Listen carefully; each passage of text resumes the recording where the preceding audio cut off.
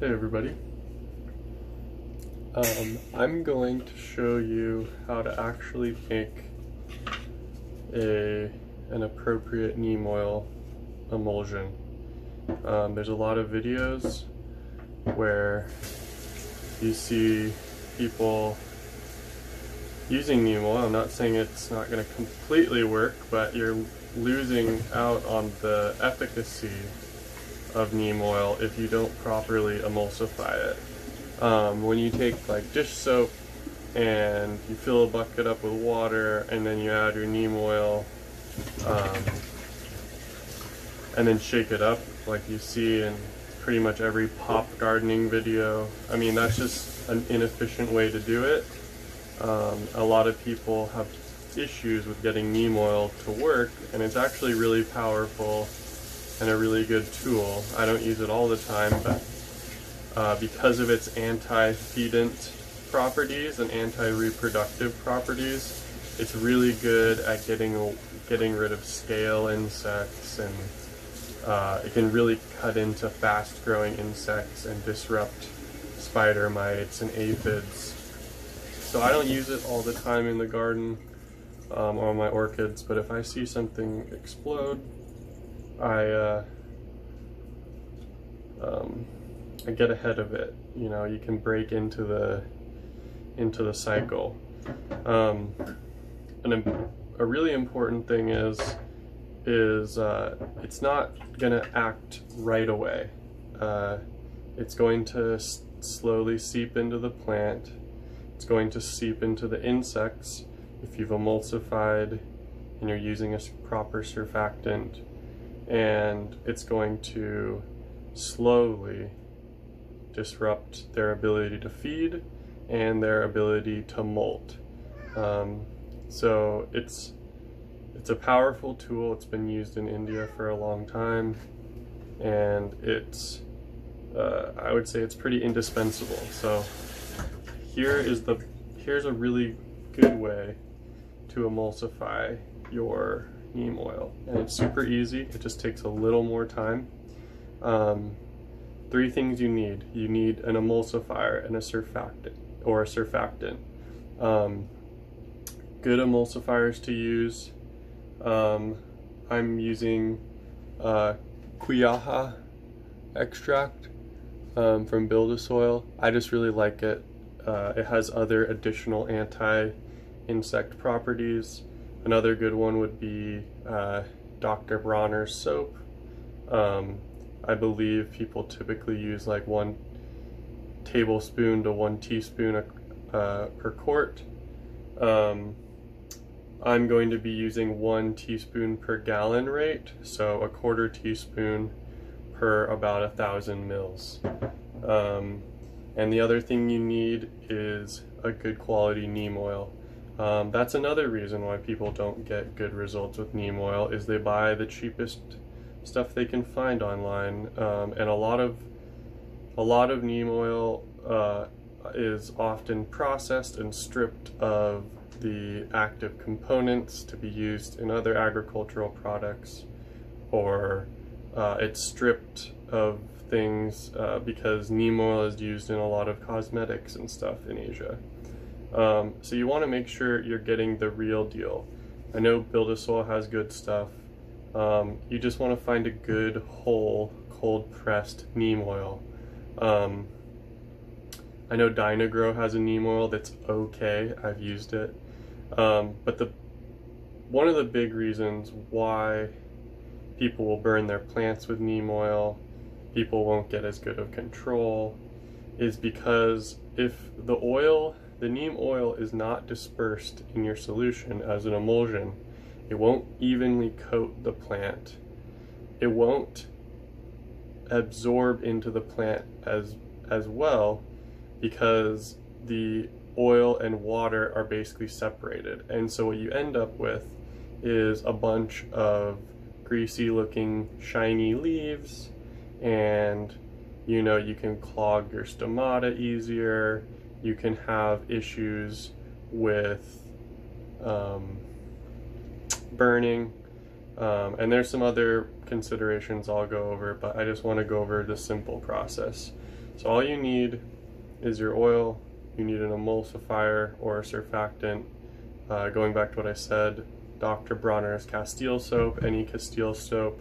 I don't recommend using Dawn, which you see a lot of people using. Not saying it's terrible, um, but if you look in the ingredients, the surfactant is sodium lauryl sulfate and sodium laureth sulfate. And um, not only are you going to be adding uh, salt and sodium to essentially a foliar spray, um, these surfactants in here are um, ionic. And this is still this a similar consideration for Dr. Bronner's.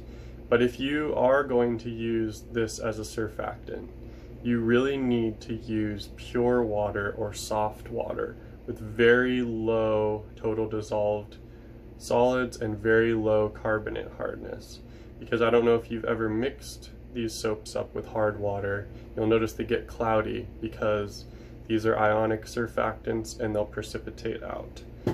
Uh, saponins are non-ionic surfactants. Another good widely available non-ionic surfactant um, that will just work uh, kind of as a workhorse is polysorbate 20, tween 20. You can buy food grade uh, polysorbate 20 very easily online and that works really good as a surfactant. So here's the method. So like I said, I'm going to add about one teaspoon of this saponin per gallon, which I'm going to be using about a quarter teaspoon per 1000 mils. I'm going to put this in here and the rate to apply that this neem oil is applied at is about one tablespoon per gallon so that's 15 mils um, I would apply about four mils per gallon, a little under five mils or a little under a teaspoon to this spray to get the same rate per gallon. Um, and neem oil should be stinky. It should smell like kind of like peanut butter uh, with a uh, interesting smell to it. Uh, that's how you know that there's a lot of actives. And the first thing we're going to do is we're going to mix this neem oil with our surfactant in here. And then we're going to slowly agitate it once you want to make sure that all of the um, surfactant it's actually easier with liquid surfactants in some cases because you got to wait for this kind of to soak in um, but if you had like a liquid soap that has a little bit of water in it already, um, it's pretty easy to combine in this first step. And so all you do, I'm just getting this all mixed up in here. Um, this wouldn't be a liquid if it didn't have a little bit of water in it. Um, it would be more solid um, so there should be enough to start dissolving the saponin and dispersing it. And uh, you can see, now that I got it mixed up a little bit, I'm just gonna add a splash of water and I'm gonna agitate it significantly just to keep everything mixing up and we're basically making the opposite of a salad dressing. So we're making an emulsion, but a salad dressing is maybe a small amount of vinegar, a uh, egg yolk, or mustard as an emulsifier, and then you slowly add uh, oil in to make a water in oil emulsion. Because the amount of oil and surfactant or the amount of oil that we're adding in is only a little less than a, a teaspoon, um, we're making a water and oil surfactant. This time.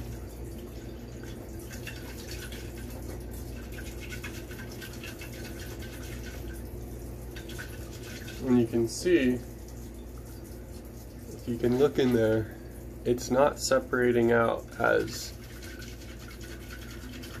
at all. It's not, there's not an oil layer at the top that you have to keep shaking in. It's cloudy. And that's because there is an emulsion starting to be made. And uh, once you get through this first part, it goes pretty quick. So I'm just adding a little at a time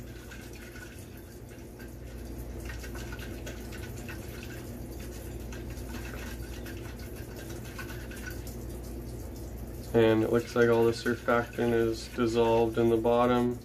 It's very cloudy and uh, you can just slowly start adding water in at this point. Just keep mixing it.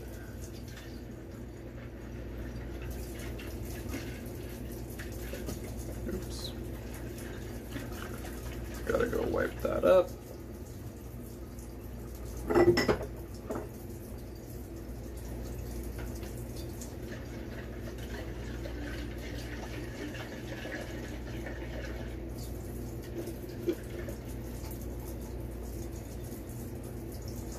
And now, you can see, I'll, I'll, pour a shot glass out. You can see that this forms a stable emulsion.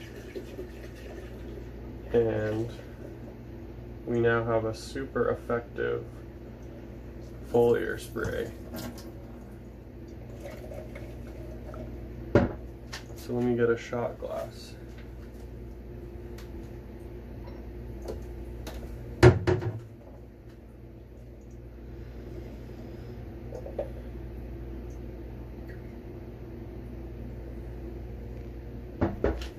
You can see that there's not a separating oil layer and it's cloudy. Um, this is what you call a stable emulsion. So all of the oil that, all the neem oil that we added is in a stable, relatively stable suspension. Don't leave this sitting around for multiple days. You want to use, use it within 24 hours um, because the oils can coalesce. Um, some surfactants better than others, um, but that's the main thing. Y you know, all these videos talking about making neem oil sprays, you shouldn't have to keep shaking the neem oil back into solution with soap. Um, and that's just from a slightly different technique. Um, so keep in mind the three components are an emulsifier and a surfactant, your neem oil, and soft water. Um, and if you have soft, pure water with low carbonate hardness, you can use a much wider range of surfactants. Uh, keep in mind, different surfactants are going to have different uh, effects on plants. Some are more phytotoxic than others. A big thing is that you don't want to apply these sprays in the sun. Um, it's just going to stress the hell out of your plants. Um, apply the sprays in the afternoon and the evening uh, or on a cloudy day. But if the leaf temperatures raise above about 75, 80 degrees with some of the surfactants and emulsant, emulsifiers, uh, it can cause phytotoxicity especially so if you use uh, sodium containing surfactant like dish soap. Um, you're just going to add extra stress because there's salt on the leaves. If you didn't use soft water or low TDS water, um, you're going to have, you're just going to amplify that. So just be careful about when you apply it. Then, that's all you got to do. Um, so give give a properly emulsified neem oil a try. I mean, they there's just a lot of bad or low quality information about making these preparations and neem oil is a really good organic solution to some pest problems. It's not a panacea, but um, it's really effective. I'm going to use this solution on uh, some scale that I found on my plumeria.